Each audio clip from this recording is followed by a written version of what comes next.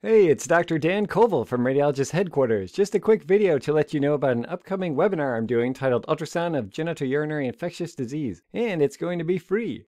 I'm giving it this Thursday, March 25th at 1 to 2 p.m. Eastern Time, hosted by the American Institute of Ultrasound and Medicine. After the presentation, there'll be a Q&A session as well. Although it's free, you do have to register first at aium.org. I'll also include a direct link to registration in the show notes. Hope to see you there.